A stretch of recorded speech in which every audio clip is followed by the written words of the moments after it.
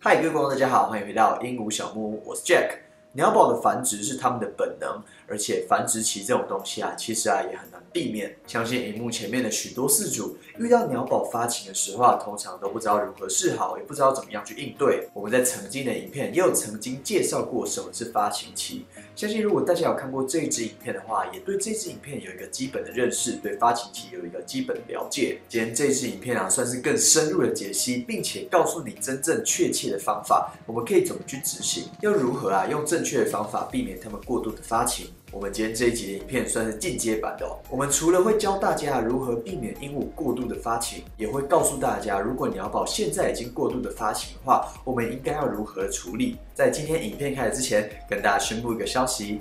鹦鹉小木屋的官网啊，已经正式的开幕喽！如果我们在鹦鹉小木屋的官网上面购物啊，有什么样的好处呢？第一个，运费的部分呢，是比所有的购物网站都来的便宜的。第二个，我们也会时不时的进行买饲料送玩具的活动，像是上个礼拜我们开幕的那天就试出了二十个名额，马上就被抢光了。在这边啊，也非常非常感谢大家的支持。如果大家有兴趣的话，也要赶快去看哦。那我们就开始今天的影片吧。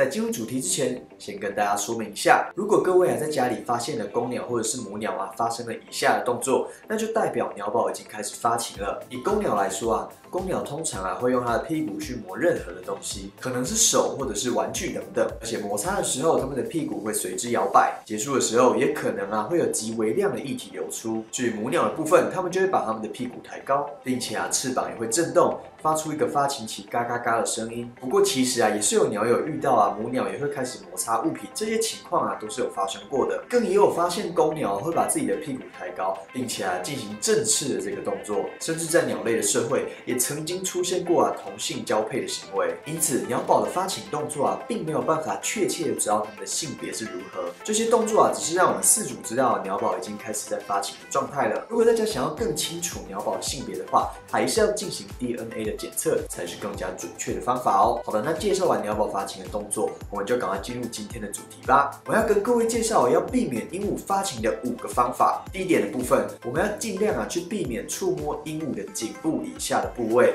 我们如果要跟家里的鹦鹉培养感情，不触摸它们啊其实是不可能的，我们都知道。但是啊，在大自然当中，鹦鹉之间互相理毛这个行为啊是非常亲密的行为，尤其啊是对于单独饲养的鹦鹉来说，它们常常啊没有分辨谁是情人谁是主人，尤其是它们颈部以下的部位啊又更加的敏感因此我们也是要尽量去避免触摸鹦鹉颈部以下的羽毛部分，这样子啊就可以比较不会引起它们发情的动作。第二点，我们要给予它们比较清淡的食物，油脂含量高的食物啊特别容易引起鹦鹉的发情。又有人说啊这些油脂含量高的食物是鹦鹉的催情剂。像是所谓的蛋黄粉以及芝麻、泥日子等等啊，都是在鹦鹉的食物当中啊，油脂非常高的食物哦。此外啊，还有像是坚果类、火麻，以及啊我们所谓的白花籽，还有油菜籽、南瓜籽这些食物啊，也都是啊很容易引起鹦鹉发情的食物。不过鹦鹉它们的饮食当中啊，也是需要油脂的，除非啊是鹦鹉已经过度的发情，或者是过度的发胖，不然我们以上讲这些食物啊，还是都一样可以去给予，只是说啊我们比例啊也要做一些调整。如果我们平常给鹦鹉的饮食太油的话，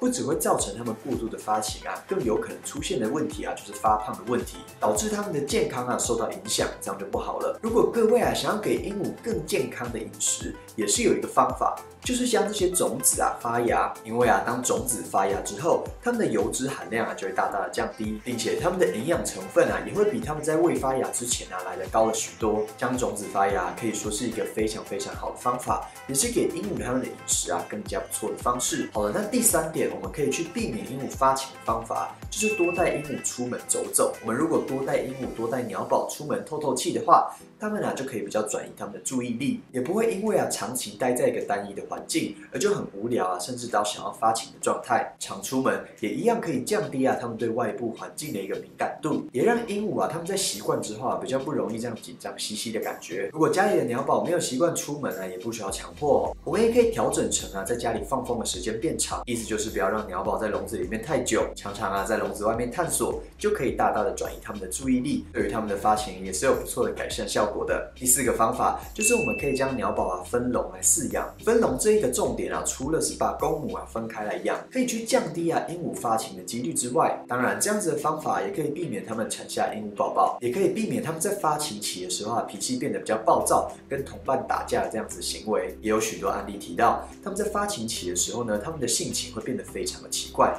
通常啊，跟同伴原本好好的，到了发情期都很有可能会打架、互咬，甚至造成其他的危险、其他的伤害。这些啊也都是我们不乐见的情况。这些打架的行为啊，大多是鹦鹉发情期的时候，因为它们的脾气暴躁，再加上啊领域性变得非常非常强，而导致它们开始互咬，造成它们的危险更严重，还有可能会咬死同伴，造成生命上的伤害。鸟类它们在野外大部分的时间都是用声音来沟通的，所以说啊，如果两只鸟宝宝分笼来饲养。它们还是都可以听到同伴的叫声，所以不见得说啊，我们一定要把全部的鸟都养在一起，或者是说它们在放风的时候，一样可以看到其他的同伴，它们的心里啊还是会很安心的。所以啊，我也没有推荐各位一定要把鹦鹉都养在一起哦。第五个可以避免它们发情的方式，就是啊，我们要移开笼内任何啊像巢箱的物品。什么是像巢箱的物品呢？比如说所谓的帐篷，很多人都喜欢啊在笼子里面放帐篷。像是冬天的时候啊，如果有帐篷，他们躲到里面啊，比较不会冷。这个东西啊，没有不好。但是他们在发情期的时候啊，看到这些东西，其实会加剧他们发情的反应。还有比如说像是一些布出来放风的时候，一些纸盒，最重要的一个魔王关呢，就是巢箱。如果他们有看到巢箱的话，是特别容易引起他们发情的，因为他们天性的反应，看到啊适合筑巢的东西啊，就会想要生蛋，想要交配，想要筑巢。如果比较严重的话，有些母鸟甚至只要看到巢箱啊，就会一直频频进去下蛋。而过度的发情，拼命的下蛋，不只有可能造成他们卡蛋的危险，生蛋这个动作啊，其实对他们来说啊，也是非常非常耗体力的，有可能会让他们的体力透支。鹦鹉在野外啊，不见得是每一个鸟种啊都会自己筑巢的，像是合唱鹦鹉，它们就是标准会自己筑巢的动物。但是啊，我们常在讲的爱情鸟。他们都其实是喜欢住在啄木鸟啄过的这个树洞里面啊，这个洞穴啊，这个树窝啊，当做他们的巢。而这样子的一个巢穴啊，主要是想要避免一些猛禽类的攻击，或者是其他天敌的攻击。那我们笼养的环境里面，当然就没有这些危险。所以说，巢箱这个东西啊，它的重要性啊，就慢慢的降低，不见得那么需要啊放巢箱在笼子里面。如果放巢的时候啊，它们开始进入发情啊、生蛋的时候，只要人靠近它的巢穴啊，其实啊，鸟类啊都会变得非常非常的凶，它会把人赶走。他们不想要人类靠近他们筑巢的范围，相对的，他们的领域性啊就会变得非常非常强。以上这五点啊，就是我帮各位整理啊，我们要避免鹦鹉发情的五个方法。那如果鹦鹉它们已经过度的发情，我们应该要怎么办呢？接下来的影片我会告诉大家几个比较常见的状况，还有啊，我自己是如何应对这些问题的，并且我也会结合自身的经验跟大家分享，遇到这些状况的时候，我们应该要怎么样来处理。第一点，母鸟频繁的下蛋，饲养到母鸟，它们开始啊频繁的下蛋。这个问题啊，确实是困扰了非常多的鸟友。生蛋虽然是母鸟的本能，不过啊，其实生蛋是一件非常非常耗体力的事情。鸟宝在生蛋的期间啊，抵抗力都有可能会下降，生病的几率啊也就提高了，体力的部分呢也会跟着下降。在这个时候，它们会变得比较容易感冒，甚至说更严重的，也是很多鸟友会发现的哦。它们在生蛋的时候啊，非常容易出现卡蛋的问题。卡蛋也是非常具有生命危险的一个意外。因此啊，除非你真的真的很想要繁殖，否则如果你可以阻是鸟宝生蛋的话，也就要尽量的避免鸟宝它们频繁的生蛋。我们建议你啊，可以先从他们的饮食以及他们的生活环境来改变他们的作息。饮食的部分，就像我们前面提到的，要给他们吃清淡一点，尽量不要吃太油。那些高油脂的坚果类啊，我们可以先尽量的避免。还有啊，母鸟的钙质补充啊也是非常重要的。鸟宝它们生蛋的蛋壳啊是由钙组成，缺钙严重的话，很有可能会导致鸟宝脚软，或者是啊站不起来，甚至说呢生软蛋都是有可能会发生的。因为其实我们都不知道鸟宝什么时候会下蛋。如果各位是养到母鸟，平时啊就要给它们多补钙，补钙之后啊也要记得晒晒太阳。才有助于钙质的吸收。如果说我们拼命给他们补钙，但却没有晒太阳的话，其实你吃再多的钙啊都是没有用的哦。那至于环境作息的改变呢，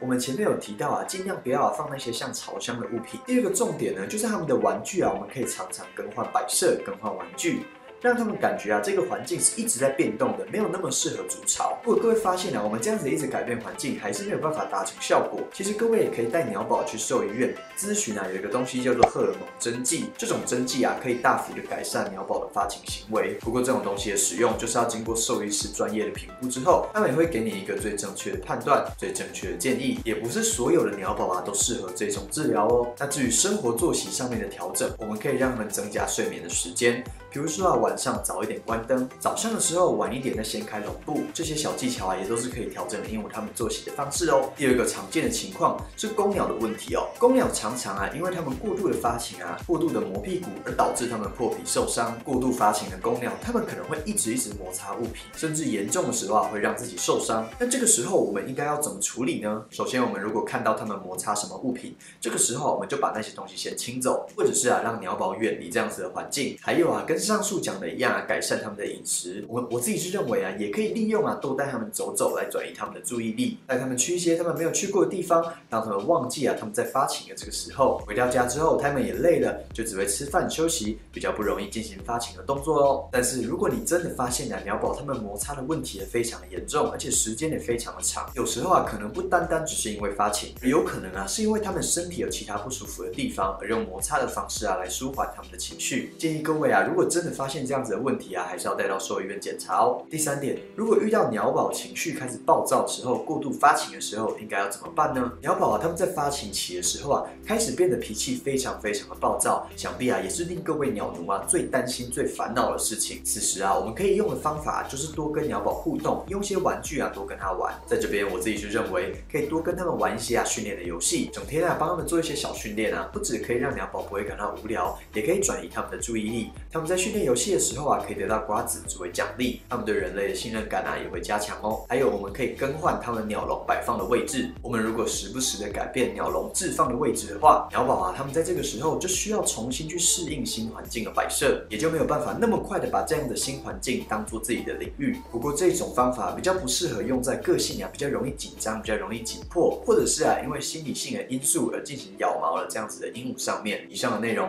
就是跟各位介绍啊过度。发情的鸟宝可可能会发生的情况，以及啊我们应对的最佳方法。影片看到这边，相信各位啊也会有个疑问：鸟宝如果真的发情的时候，我们应不应该帮他们找一个伴呢？其实啊我自己是认为是不需要的哦，因为啊找另一半还要考虑到啊合不合得来的这个问题。如果真的幸运的话，合得来，它可能啊就会导致他们更常发情，也更加无法缓解发情的状况。如果合不来的话，其实更麻烦哦。饲主啊要去面对的就是鸟宝啊可能会互相攻击、互相占地盘，甚至啊互相。咬来咬去，这样子的问题啊都是非常麻烦的。我们会需要面临的是啊，可能放风的时间啊也都要隔开，或者是鸟宝啊，他们因为心情感到非常的压迫、非常的紧迫，而造成了其他行为异常的问题。所以其实啊，不见得一定要帮鸟宝找到另一半的哦。影片的最后，帮各位复习一下这一集的重点。第一点，我们不要去触摸鹦鹉颈部以下的部位，避免它们发情。第二点。它们的食物要给清淡一些，油脂含量过高的食物是导致鹦鹉发情重要的因素，而且更容易引起它们发胖的问题。第三点。